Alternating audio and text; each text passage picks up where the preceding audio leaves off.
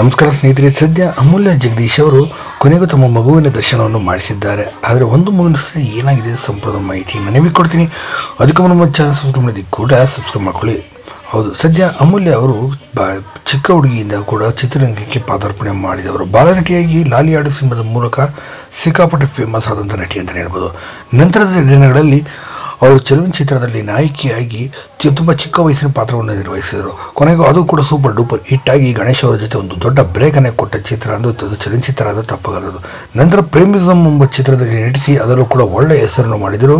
ಚಿತ್ರ ಹಿಟ್ಟಾಗಿಲ್ಲ ಅಂದರೂ ಅದರಲ್ಲಿ ಇರದಂಥ ಹಾಡುಗಳು ಹಾಗೂ ಮೈಸೂರಿನ ಅಲ್ಲಿನ ಜಾಗಗಳ ಬಗ್ಗೆ ಅವರು ತೋರಿಸಿದಂಥ ರೀತಿ ತುಂಬಾ ಅದ್ಭುತವಾಗಿ ಮೂಡಿಬಂದಿತ್ತು ಸದ್ಯ ಇದಾದ ನಂತರ ಅಮೂಲ್ಯ ಜಗ ಅಮೂಲ್ಯ ಜಗದೀಶ್ ಅವರಿಗೆ ಸದ್ಯ ಗಣೇಶ್ ಹಾಗೂ ಶಿಲ್ಪ ಗಣೇಶ್ ಅವರು ನಿಂತು ಮದುವೆ ಕೂಡ ಮಾಡಿಸಿದ್ರು. ಸದ್ಯ ಈಗ ಅವರಿಗೆ ಅವಳಿ ಜೋಳಿ ಎರಡು ಗಂಡು ಮಕ್ಕಳು ಕೂಡ ಆಗಿ ಹೋಯಿತು ಸ್ನೇಹಿತರೆ. ಹೌದು, ಇದೊಂದು ತುಂಬ ಅದ್ಭುತವಾದ ಹಾಗೂ ಖುಷಿಯ ಸುದ್ದಿ ಅಂತ ಹೇಳ್ಬೋದು. ಸದ್ಯ ಮದು, ಮಗುವಾಗಿ ಈಗ ನಾಲ್ಕು ತಿಂಗಳಾದರೂ ಮೊನ್ನೆ ದೇವಸ್ಥಾನದಲ್ಲಿ ಸಿಕ್ಕಿದ್ದು ಬಿಟ್ಟರೆ ಮತ್ತೆ ಅವ್ರ ಮಗುವಿನ ದರ್ಶನ ಎಲ್ಲೂ ಕೂಡ ಮಾಡಿಸಲಿಲ್ಲ ಸದ್ಯ ಈಗ ಅವರ ಮಗುವಿನ ಅಮೂಲ್ಯ ಅವರು ತಮ್ಮ ಮಗುವಿನ ಎರಡು ಕಾಲುಗಳಿಗೆ ಹಿಡಿದುಕೊಂಡು ತಮ್ಮ ಕೆನ್ನೆಗೆ ಹಿಡಿದುಕೊಂಡು ಮುದ್ದಾಡುತ್ತಿರುವ ಫೋಟೋವನ್ನು ತಮ್ಮ ಇನ್ಸ್ಟಾ ಖಾತೆಯಲ್ಲಿ ಸದ್ಯ ಈಗ ಶೇರ್ ಮಾಡುವ ಮೂಲಕ ಈಗ ತಮ್ಮ ಮಗುವಿನ ಪಾದಗಳನ್ನು ಕೂಡ ದರ್ಶನವನ್ನು ಮಾಡಿಸಿದ್ದಾರೆ. ಸದ್ಯದಲ್ಲಿ ಮುಖವನ್ನು ಕೂಡ ದರ್ಶನವನ್ನು ಮಾಡಿಸುತ್ತೀನಿ ಅಂತ ಹೇಳಿ ಸದ್ಯ ಅಮೂಲ್ ಅವರು ಬರೆದುಕೊಂಡಿದ್ದಾರೆ. ಈ ವಿಡಿಯೋ ಇಷ್ಟ ಲೈಕ್ ಮಾಡಿ ಕಮೆಂಟ್ ಮಾಡಿ ಶೇರ್ ಮಾಡಿ.